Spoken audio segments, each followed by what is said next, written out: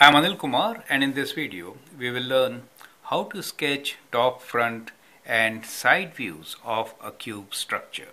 So we have a model here. Look into this model and try to sketch the views. Top view is when you look from the top, right? So what do you see? You see a rectangular block where you have six of these squares. That is the top view.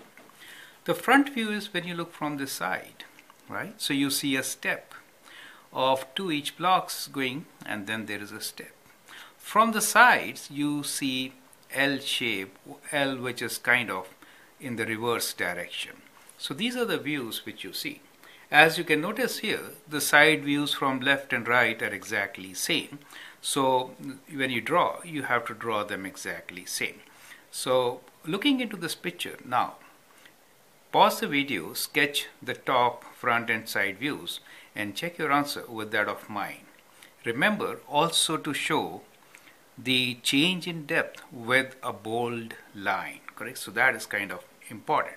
So let's begin by sketching the top view first. So when we look from the top, we see these six squares, right? Imagine that they're all cubes, correct? So from the top, let me draw like this. So we have six squares. So let's say so if you have a graph paper, you can do a good job. I'm just making rough diagrams here. They will help you to understand how to sketch, right? So that is my top view. So I see these six blocks from the top.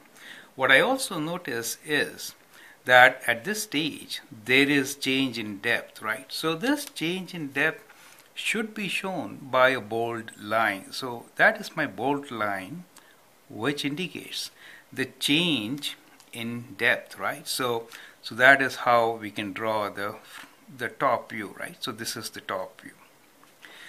Now let us make the front view of the same. So from the front, that is the side which we are looking at. So what do you see?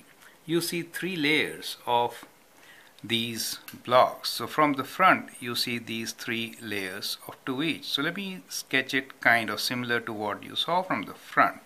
I mean from the top. It looks kind of similar. Here it is. But there is one huge difference and that is at the first level you see change in height, right? So at the front, from the front view, at the first level you change in height.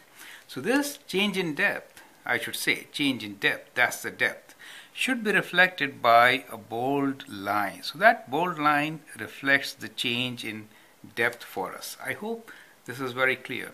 So that is my front view. Now how does it look like from the right side? From the right side, when you're looking, it is this direction, right? So that is the right side. It is L-shaped, L which is reflected on a mirror or you can say the reverse L, right? So, so if you want to sketch this, you could sketch L-shaped thing like this, right? So this is this is how you could sketch. So this is one, two, and third one. So there are three at the bottom, and then we have three, one over the other, right? So so that is how you kind of see it. So I'm just sketching it, and I hope it makes some sense to you that is how it is, right? So, so that is the L shape which we are talking about. Now when you see, do you see any change in depth? Well, here the depth is the same, depth is same. So there is no change in depth here, right? Now that is the right view for you. So we'll call this as the right view. If you look from the left side, how does it look like? From the left side also it is exactly same as it looks from the right side. Right? This is your left side. So you can draw here from the left side also. That is also L shape. So let me just draw one L shape thing here. Okay, so that is how it is.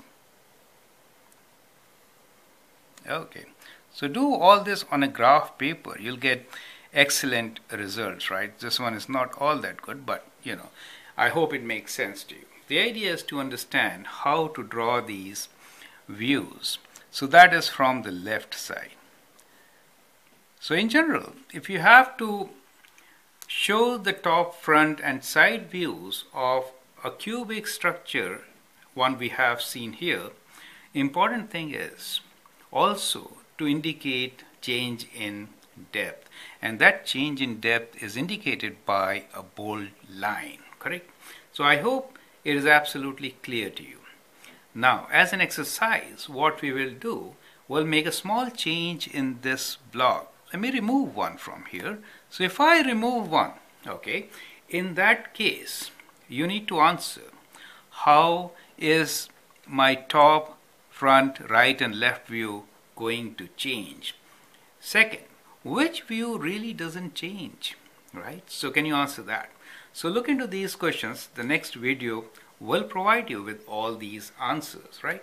Let me give you a hint here. So you can pause the video answer this question. And the hint is if you see from the left it is still the same. Do you see that? So it does not change. However from the right it changes since I have removed one block. So when you look at it, you do see the same thing, but then you see the change in depth, right? So that is the change in depth. So in that case, this becomes bolder. Do you see that? This becomes bolder for you from the right. From the top, you know, you have to remove this block, correct? So that has to be removed. That is a big change, right? And from the front, what really happens? Actually, in the previous one also, I should have drawn this line, right? So this line shows all those six things, right? But from the front, what really happens here is that now you can see the change in height, right? Or I should say depth. So if you move from here, there is a change in depth, correct? So, so, so that is at two levels now. So first level and then second level. So it is going to change. So that is what it is. So what we have here is that kind of structure. Do you see that change here? So that is how it is going to get reflected when you are going to see from the front side. However, the left side is going to remain the same. I hope that answers the question also. So likewise, what you can do is you can make some more changes and see how to draw the different views of a block cubical block structure.